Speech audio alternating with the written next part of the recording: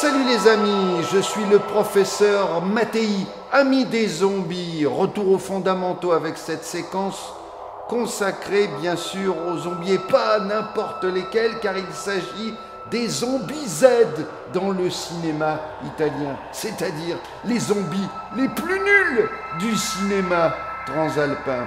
Vous le savez, je voudrais avoir un million de vues aussi la séquence est ouverte au plus grand nombre. Il n'empêche que cette séquence est quand même déconseillée au moins de 12 ans. Aussi, retirez les chenappantes devant les écrans. Jusqu'à la fin des années 70, le cinéma populaire italien repose sur des genres bien définis tels que le western spaghetti, le giallo, la comédie érotique ou bien encore le polar à l'italienne. Le cycle consacré aux zombies entame le début d'une contrefaçon des grands succès internationaux, en particulier le cinéma américain. Le grand cinéaste Dario Argento et son frère Claudio sont les coproducteurs de Dawn of the Dead de Romero. Ils distribuent ainsi leur propre version du film en Europe sous le titre Zombie. Profitant d'un vide juridique dans le droit transalpin, le producteur Fabrizio De Angelis met en scène l'année suivante le Zombie 2. Des vaudous et des zombies. Quando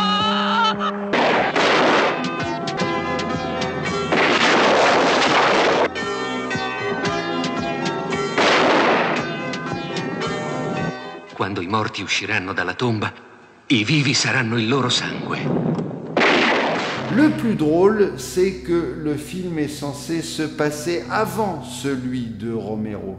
Mais grâce à une mise en scène remarquable de Lucio Fulci, à des zombies putrescents et des effets chocs particulièrement gore, le succès est international.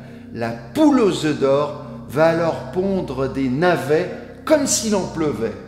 Puis, demain, je vais transplanter votre cervelle sur un des cadavres que vous avez vus. Vous revivrez dans un corps plus jeune et plus fort.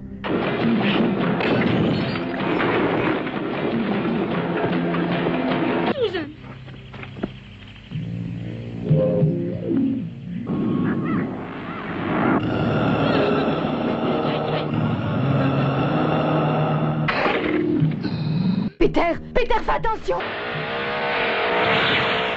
Maintenant, tu ne pourras plus me déranger puisque je t'ai coupé les cordes vocales. Zombie Holocaust, la terreur des zombies en français, est réalisé dans la foulée l'année suivante et le résultat est catastrophique. Le sujet est le même que celui de Zombie 2, alias l'enfer des zombies. Des crétins partent à nouveau enquêter aux Caraïbes et par souci d'économie, il utilise les mêmes décors et des plans du film. Plus fort encore, l'année suivante, dans le manoir de la terreur d'Andrea Bianchi, des couples libertins passent un week-end dans un château situé non loin d'une nécropole. Zombies Ils utilisent même des outils pour découper leurs victimes.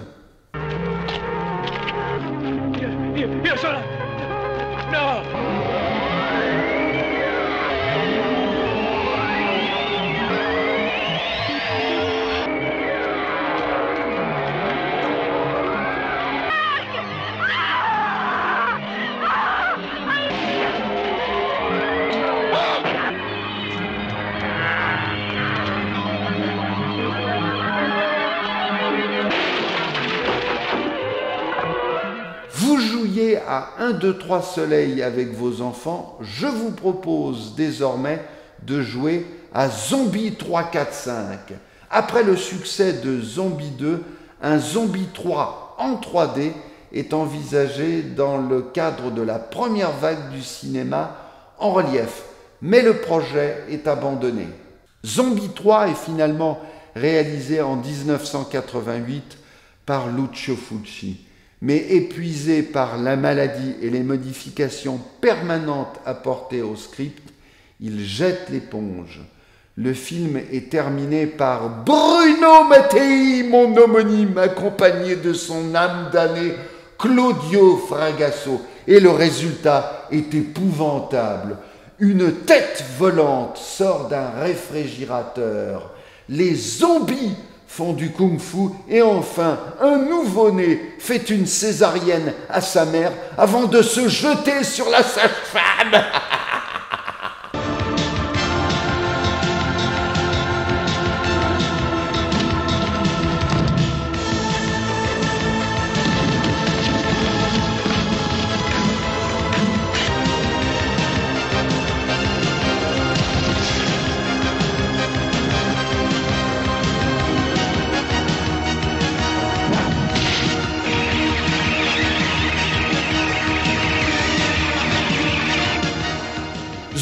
Zombie 3 est un véritable carton en vidéoclub. Cinéaste opportuniste sans foi ni loi, Claudio Fragasso met alors en chantier un Zombie 4 After Death. Le sujet est débile, l'histoire d'un prêtre vaudou qui, pour venger la mort de sa fille, ouvre les portes de l'enfer.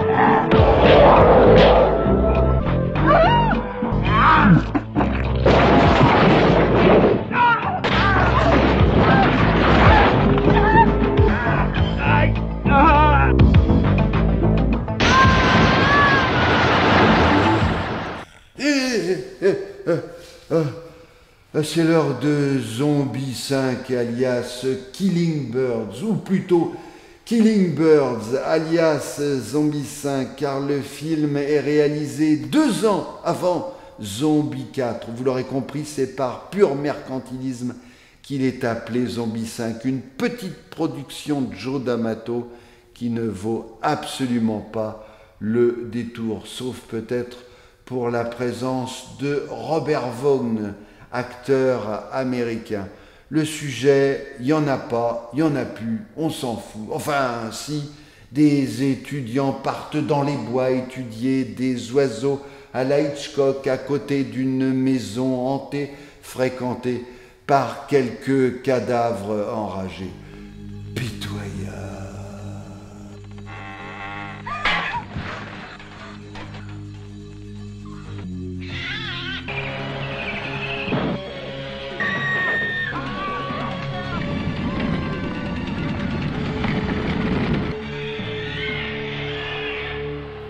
Arrêtons-nous un instant à présent sur Virus cannibale de Bruno Mattei, réalisé en 1980 et qui va lui apporter la gloire, non pas parce que le film est bon, mais parce qu'il est une succession de scènes plus débiles les unes que les autres. Le film est bien entendu involontairement drôle. Tout de suite, une des scènes les plus débiles du film. Fa la la la la la. Fa la la la la la. Fa la la.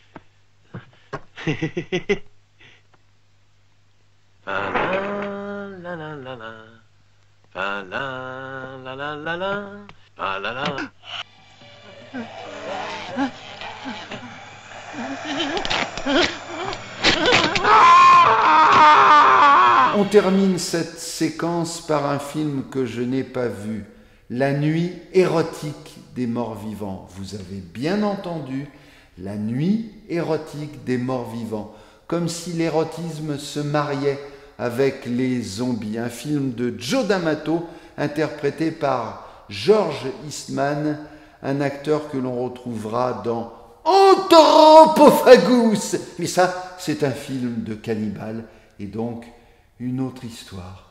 Moi, je suis vraiment épuisé.